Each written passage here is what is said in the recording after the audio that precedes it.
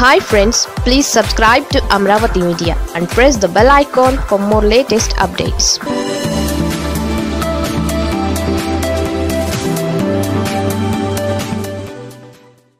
ఏకంగా పోలీసులకే షాక్ ఇచ్చిన కేటుగాళ్ళు అసలేం జరిగిందంటే గుంటూరు జిల్లా పోలీసులకు సైబర్ కేటుగాళ్ళు షాక్ ఇచ్చారు గుంటూరు అర్బన్ పోలీసుల పేరుతో నకిలీ ఫేస్బుక్ అకౌంట్ సృష్టించారు.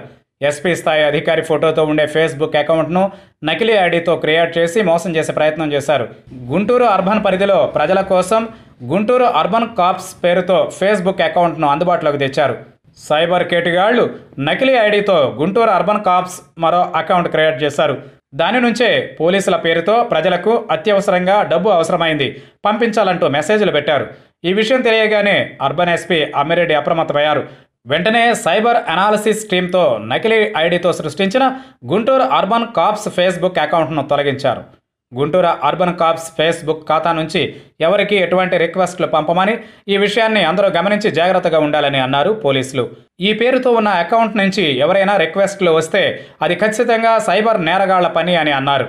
ఈ విషయంలో ఏదైనా సందేహాలు ఉంటే డయల్ వన్ జీరో జీరోకు లేదా eight six triple eight three one five six ఎయిట్కు phone చేయాలని సూచించారు.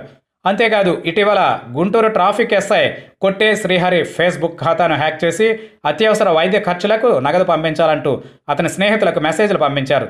ఇప్పుడు ఏకంగా అర్బన్ పోలీస్ శాఖను టార్గెట్ చేశారు.